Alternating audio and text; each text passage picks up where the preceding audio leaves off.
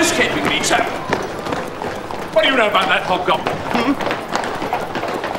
Projection on glass. I suppose who put you up to it? Yeah, mate, not now, thanks. Oi, you! Follow that hearse! Wait, can't do that, sir. Why not? Tell you why not? I'll give you a very good reason why not, because this is my coach. Well, get in then. Come on, you're losing them. Everything in order, Mr. Dickens? No, it is not. What did he say? Let me say this first. I'm not without a sense of humour. Dickens.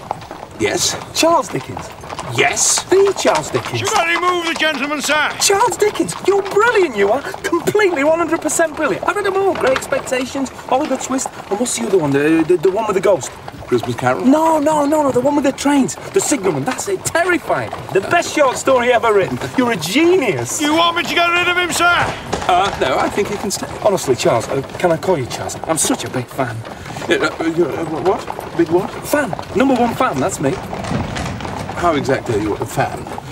In what way do you resemble a means of keeping oneself cool? No, it means fanatic, devoted to. Mind you, I've got to say, that American bit of Martin Chuzzlewit, what's that about? Was that just padding or what? I mean, it's rubbish, that bit.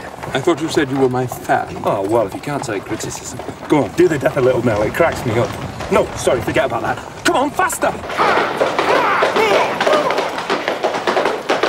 Well, who exactly is in that hearse? My friend, she's only 19, it's my fault. She's in my care, now she's in danger. Why are we wasting my time talking about dry old books? This is much more important. Driver, be swift! The chase is on! Yes, sir. That a boy, Charlie? Nobody calls me Charlie. The ladies do.